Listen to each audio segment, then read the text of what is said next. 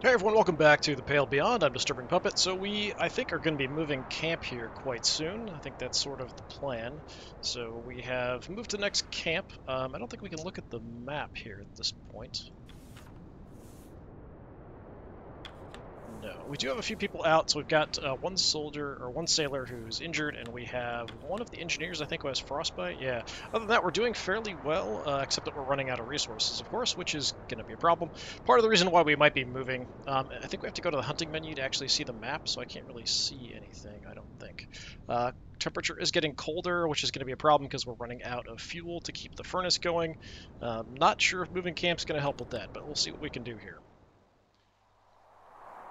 After a hard morning dragging the boats, the crew come across deeper snow ahead. Captain, snow on the ice is getting deeper. We'll need to find a better path before dragging the whole crew through it. I'll be happy to take up the reins.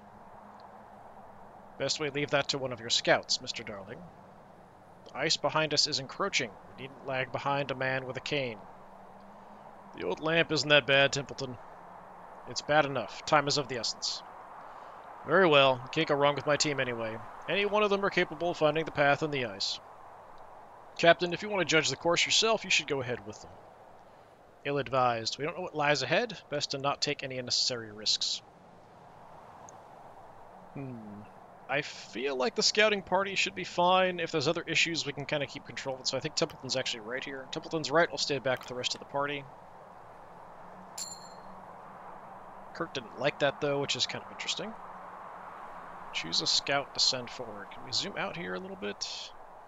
Uh, okay, we can zoom out a lot. uh, yeah, not looking super great, is it?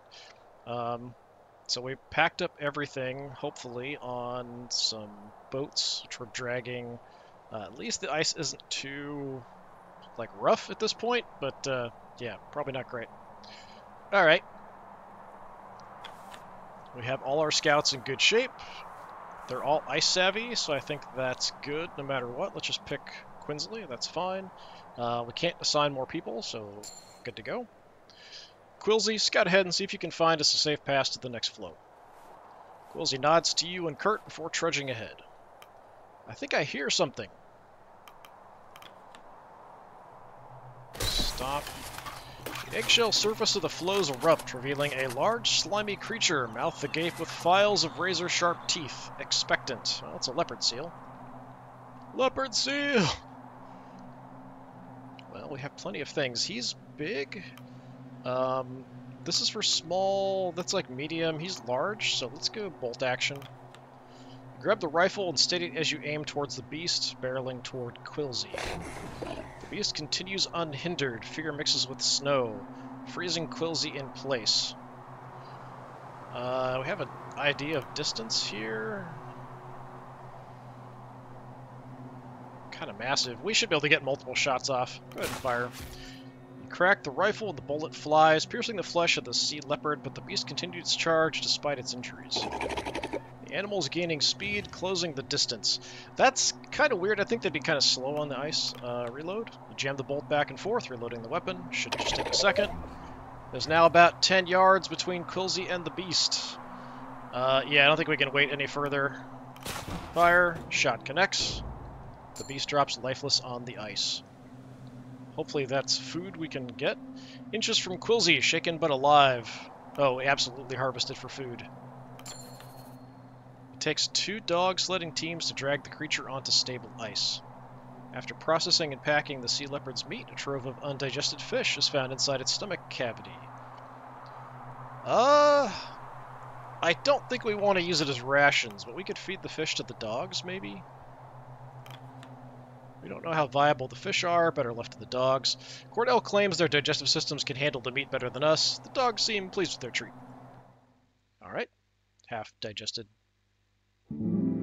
Fish, awesome. Alright, now at the second camp, on to week 12.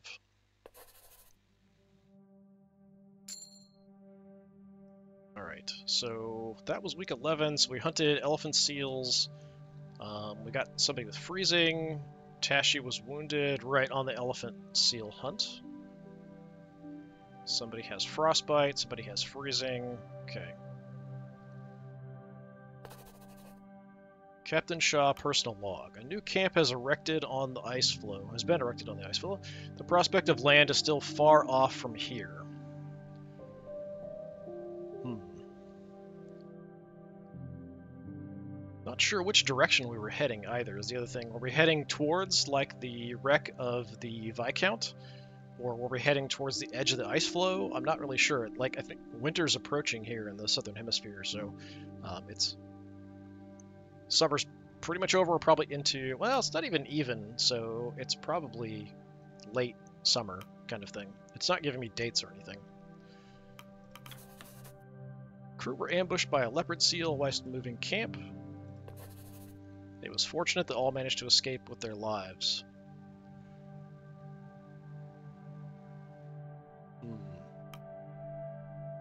We survived because we were prepared. It was quick thinking and the appropriate resources that won out the day for the crew. That vigilance is to be kept up at all times, lest the crew meet with a true disaster. That leopard seal was but a warning of the dangers that rest on the ice. By all estimate, it appears that summer has arrived on the ice, a prime occasion for hunting, that doesn't make sense, uh, and a comparable respite from the truly freezing temperatures, the worst of which are yet to come. The arrival of summer comes the promise of winter.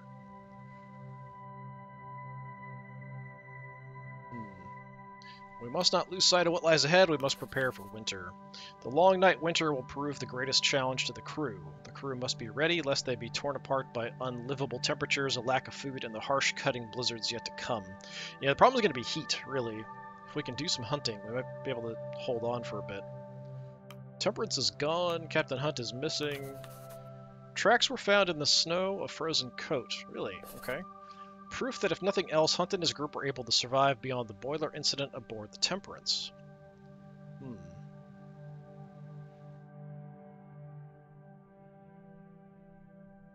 Yeah, I wonder if they're out here somewhere or we'll just come across their bodies.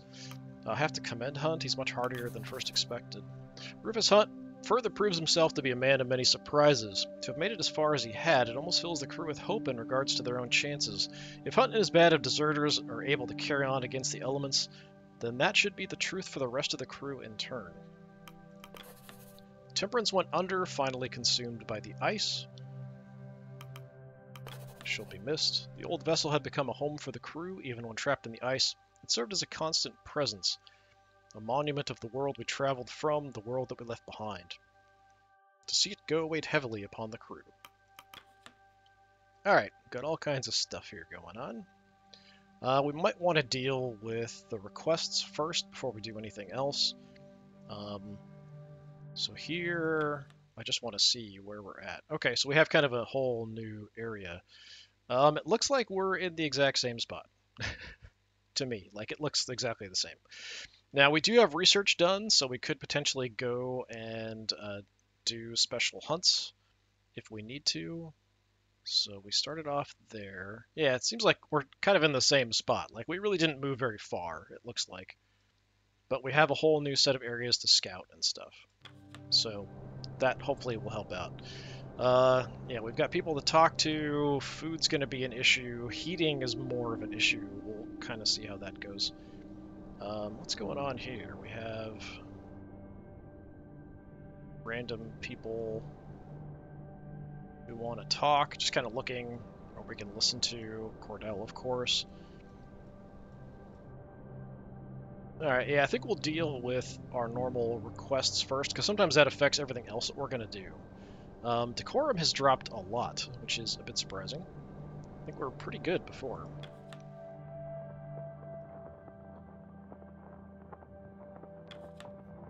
Captain. This territory of ice we find ourselves on, it would seem we have our pick of the litter. The ice is teeming with life, life that has never encountered our lack in the past. We'll be able to hunt to our heart's content. Hmm.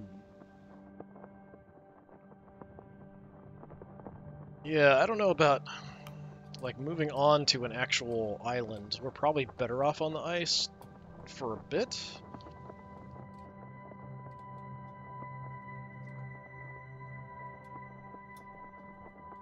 Yeah, I don't know if we want to get, like, comfortable. Like, I can see kind of either one of these potentially...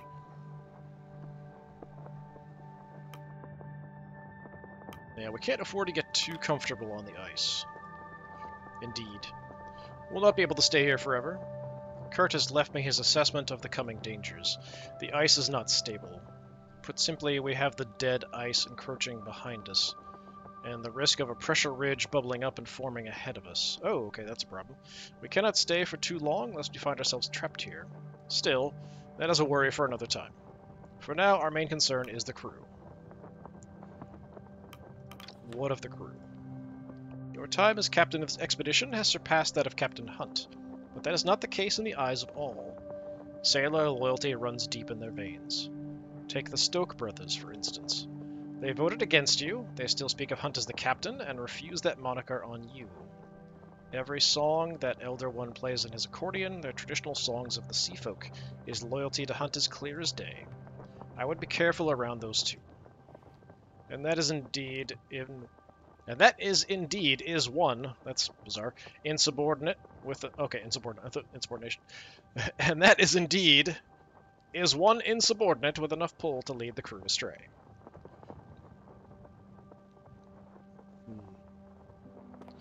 Duly noted, I'll be careful. I'm not that concerned, honestly. I'm simply stating what we should look out for. Regardless, you have some requests to deal with. They're waiting outside. Okay, take requests. Yeah, we'll do that. Well, actually, advanced time, which sometimes it doesn't do. So yeah, I'm, I wonder if I should have done everything else first. Um, yeah, it seems like I've been doing this first and it's been fine, so we'll see how it goes. Uh, Cordell. Captain Shaw. This area is teeming with life. Naive life at that. These creatures have never seen humans before, they do not even know to run. Some will even approach out of curiosity. In my opinion, we should be engaging in hunts as often as possible as we can. Absolutely agreed. Agreed. Thank you, Cordell. Cordell exits. Yeah, let's talk to Junior. Well, despite it all, we managed to land ourselves a hefty piece of meat. A leopard seal and the fish in its belly. It's up to you how we prepare it, Shaw. Feasting on the thing would be nice.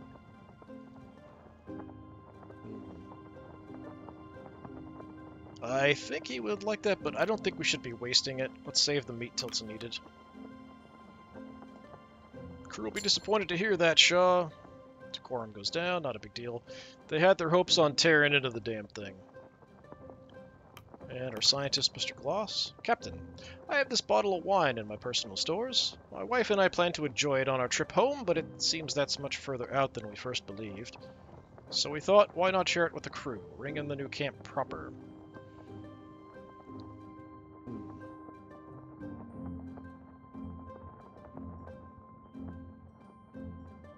Yeah, I think that's fine. Uh, we could add it to the rations. But I think if we're sharing it anyway, it's kind of like it's added to the rations anyway. Um, I think, yeah, that's uh, kind of a, a, nice gift, so let's do that. Excellent idea, thank you. Maybe that'll improve decorum again. Agreed. A little drink will help raise spirits, pardon the pun. Yeah, we got some decorum, some loyalty there.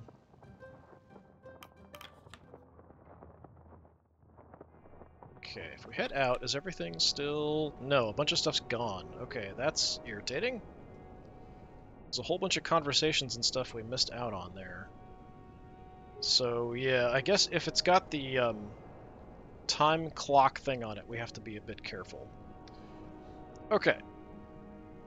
So we missed out on a bunch of stuff. That sucks. Where's the doctor? Is he kind of here? Yeah.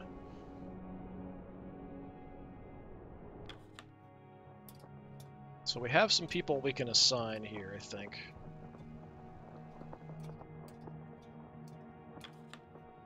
Is there anything I can do for the crew? Med Bay, we've got somebody injured. Yeah, so you head in, and then somebody else was freezing. Yeah, frostbite. I think that's everybody. Yeah, so there's just the two, injured and frostbite. So yeah, we'll do that. You guys need to rest. So we can deal with two people having a problem at a time. don't have anybody really need to worry about there, so that's fine.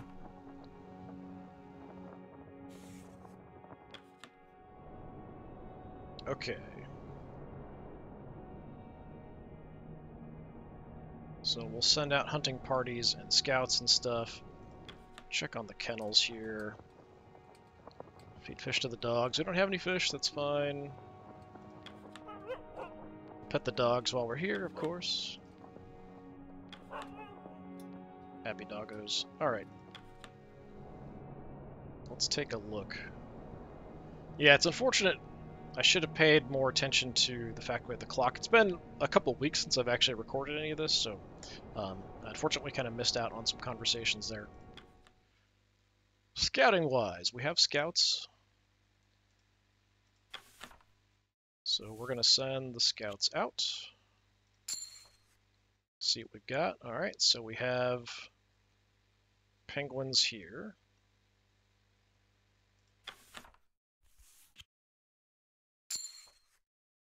More penguins. And we have some crab eater seals there. So the crab eater seals are going to provide me a bit more. We can do one hunting expedition right now. Uh, I think we have some seal left over. We also should have the leopard seal probably in stocks.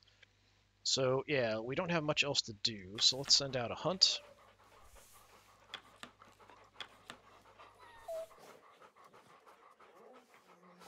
Who do we want to send? I'm not doing anything with the scientists, so I might as well have them help out with the hunt. We want to send like the maximum number of people possible. Uh, we'll keep the other engineer here just in case. We'll just send out whoever. How about... Yeah, two Johns we'll keep here. Add you as well. Okay. Mr. Zach, Mr. Gloss, Mrs. Gloss, and Cavity are marked down to hunt for the week. And that's all we can do. We don't have enough dogs to send anybody else out to do anything else, but we did a decent amount of scouting, so we know we have some penguins, but they don't provide a ton of food, really. Uh, our problem is actually going to be heat here very, very soon. I don't know why the map keeps moving when I Okay, there we go. We'll zoom in and it's fine. Alright. Uh, unfortunately, heat is a bit of a problem. You're just gonna stand there give us something to burn. Feed the furnace. All we really have is, what, four lumber left. That's it. So, I feel like we really can't afford to do more than, like, burn a little bit of lumber each day. We're not going to get anywhere near where we need to. So everyone's going to start getting cold here, unfortunately. So we're at 31. I don't know what we need, but that's probably all we're going to be able to do. Push pot. What do we have for food? So I think we need, we've got 25, so I think we need 50. So we do have you. Cures demoralization. Oh, okay, that's cool. Great source of blubber. So yeah, all we really have are some elephant seals. We're good to burn, actually. We've got some crappy food we don't really want to use unless it's an emergency. We've got ale for demoralization. We might need to rely on that at some point. Um, yeah, nobody's really demoralized, so I think we're okay. Throw some elephant seals in. We have enough there, I think, to just... That'll feed everybody.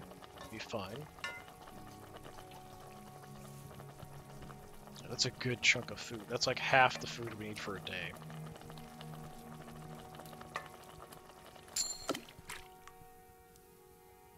Yeah, nobody's uh, malnourished, so that's why we're not getting anything extra from the spice crates. So if people are malnourished, we, spice crates actually give us a bit of a bonus. Yeah, the temperature is going to be a bit of a problem. Yeah, it's a shame we missed out on some conversations there earlier. I'm a bit disappointed by that. I don't like the way this moves. Why do you keep bobbing up when I move it down? Alright, unfortunately we're just going to call everybody for dinner and see what happens. Crew have their meal. Dinner shared and stories are traded. Okay, so now we have some conversations, some stuff to listen to. We'll listen in on everybody, and then we'll kind of go from there. Who's talking over here? Two Johns. That was definitely Joe's coat we found, wasn't it? You think they're still out there? Wouldn't be surprised. Hunt's tough for an old man. We don't know how long that jacket was there. Don't get your hopes up. Captain, tell them not to get carried away. Hmm. We've survived this long, why couldn't they? Even Captain Shaw thinks so. Well, he didn't like that. That's, um, our... The brother of the cook. I can't remember what his name is. Junior, I think? Don't encourage them. Nah, that jacket means something. Could mean Joe froze to death. Well, don't you have a sunny disposition? I'm being realistic. True, people with uh, hypothermia often do sort of pull their clothes off as kind of the very end stage. Hey, it's only minus 31 Celsius. That's kind of nuts.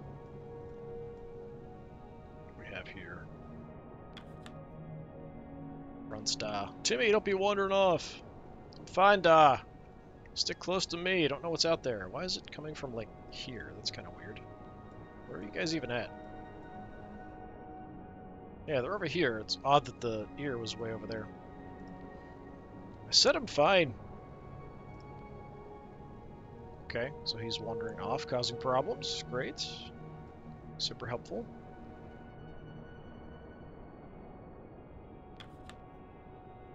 Look a bit shaken, Chief. Worried about another attack from some beastie? Aye, more worried about one of them getting onto this boiler. If it's wrecked, we're done for. Uh, that doesn't make any sense. Why would a leopard seal attack a furnace? That's bizarre. Uh, I think we should have overnight watch then? I'll handle that. Of course you will.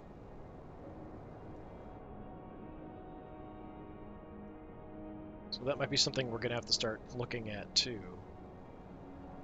Uh, who do we have over here? That's what, Cordell? Or Gloss. Lost in thought? Our encounter with that wildlife has left me rather perturbed. We can only be thankful that no one was harmed. Indeed.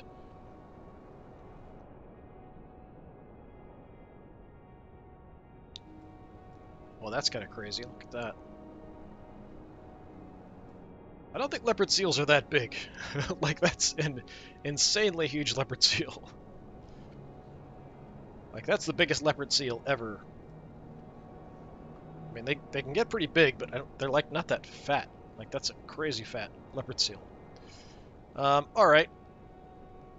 Grimly. Shaw. Heard the photographer call my songs poetry earlier. Never thought about being a poet. I can't even write.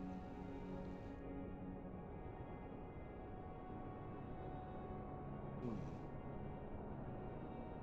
Writing isn't a requirement. Poetry's oral too. They might as well sing at that point. Are poets just lazy musicians? Yeah, kinda. or frustrated musicians, maybe. So there's our stockpile of stuff, it looks like. Not that we really have this much stuff. It's like some penguins, uh, smaller? No, those are emperor penguins. Canned stuff, fish, not that we have any fish. Coal, we have no coal. Templeton out here. Captain, you didn't call me here so frequently. You receive your updates each day. You should focus on the crew or your own rest.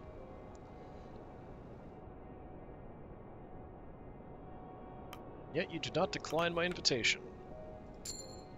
True. This is hardly a direct order, is it? Well, I'm afraid you have me there. Very well then, what do you wish to discuss? Apparently nothing. Alright. So, Kurt, Junior, Hammond, they probably don't really have anything to say because they're not highlighted. Overheard some crew talking about how they missed proper food back on land. Grateful bastards should have smacked them. Uh, I can't blame them, though. We've been out here quite a while. Complaints are ridiculous. There's nothing wrong with your food. I know that. As do they, I bet. So we got his loyalty there. Nice. Still, they miss something. That's fair. For me, it's the sea I miss. Yeah, I can see things like, you know, potatoes. Could be a bit of an issue. Missing starches and stuff. Evening. That rescue ship better be coming. Don't trust the benefactor to follow through. Haven't you worked with them before? Aye, and they paid me well when all goes right. They've always been the type to weigh their purse before anything. That's not a good sign. Okay, we'll talk to Cordell. Have you ever attended the theater, Captain? It's a luxury I have not indulged in quite some time. A good ten years at least. Uh, I've seen a few plays in my time. That's good to know. Perhaps we can trade experiences at some time. Enjoying the craft of the theater. It is quite the escape, Captain. A shame that is a luxury we cannot carry with us on the ice. That's something that some of those crews, uh, Arctic Exploration, I know at least to the Franklin Expedition, they actually had like costumes and stuff that they brought with them because they figured there'd be a lot of downtime, people being bored, so they actually had like stuff to stage plays um, on the ship just to kind of keep people busy and occupied. Kurt, Nutley, and Kasha are talking. You make your way towards the main camp, approaching Kurt as he speaks to Nutley. Well, it's not that I find use in it. I understand, I know the struggle of having so much pressure on you at a young age. So, you're saying you were nervous when you were my age? No, of course not. I was a six foot five inch hooker in rugby. But of course I can empathize. You approach and you notice Kasha following close behind you, a few steps back with some hesitation. Kurt's eyes catch you. He calls the both of you over. Ah, Captain Shaw, I was just helping our good doctor. Our first trip out onto the ice left him shaken, and I'm set to calm his spirits.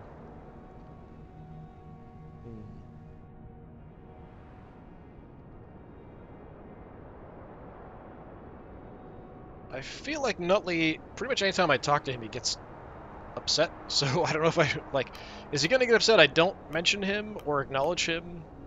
Or is it better off if I just move on? Uh, this is kind of minimizing, this is sort of saying he's a weirdo, something like that. Let's just go with Kurt. You haven't spoken to Kasha before. She's quite the fan.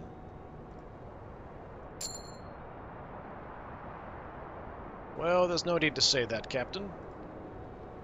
Oh, is that so? Kurt smiles as he puffs out his chest with confidence. Happy to hear of a fan aboard the crew. Well, fan sounds childish. I've simply followed your career for a long time. Ah, no need to be modest. I've encountered many a fan in my time. That must explain your habit of snapping photos of myself from a distance. Kasha shakes her head. That's not it. Your stature simply makes for more impactful images. It's the same with Nutley and his constant look of abject terror. That makes for good photos? They look amazing. It's great work. Keep it up. Um, thank you. Let us not sell our good doctor short. I'm sure that with time we'll feature in images with a stature rivaling my own. Nutley stares at the floor. I probably don't have it in me, not compared to the rest of the crew. The rest? Yes, look at someone like Hammond rescuing the boiler, how Kasha covered the plagues in the streets, and you with your famous expeditions. What do I have? Kasha steps forward into the conversation. Is this some kind of jape? You're a doctor. You perform surgery. That's brave enough as it is. Oh, thank you. You're a trained surgeon. None of the rest of us can say that. It's true. Nutley, you're a valuable part of the crew. I am? Right. Yes, I am. Thank you, Captain Shaw. Ah, we're all doing a good job pulling our weight out here. Nutley returns to his tent as Kurt begins to share stories by the campsite with Kasha. The young journalist is keenly taking notes. Yeah, as much as he disliked the fact that I brought that up, she seems fine.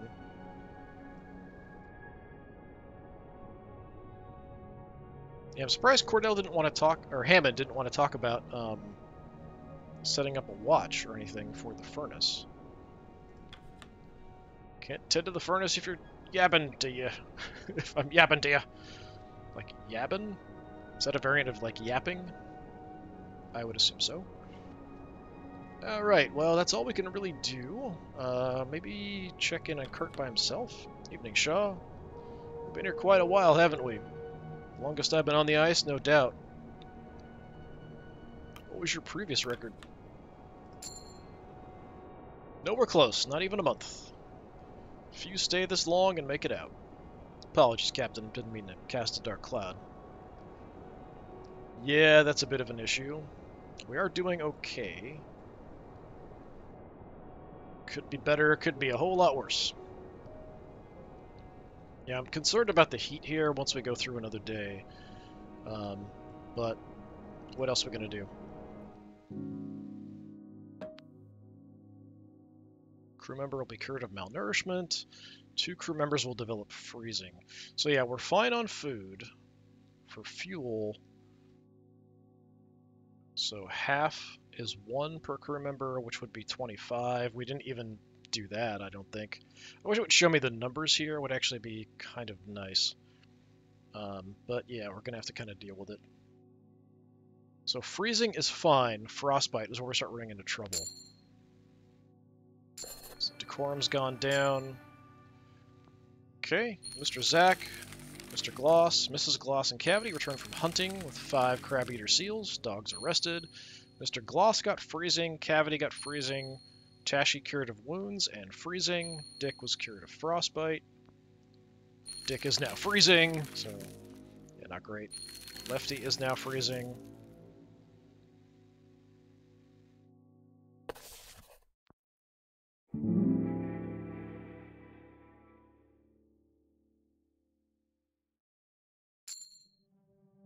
Alright, all the dogs are free. Everyone is available. Uh, we just have some people who are getting very cold, but there's not really a whole lot I can do about that, unfortunately. So what we'll do, um, we'll check on stuff before we go into the request tent, but we're going to call it there. Just kind of going one week per video, so next time we'll come back and continue. Decorum's holding. Heat is a major problem. Food, we're sort of holding on. We've got four. Actually, how much did we get? Five crab-eater seals provides only 30. That's not enough. We need a lot more than that.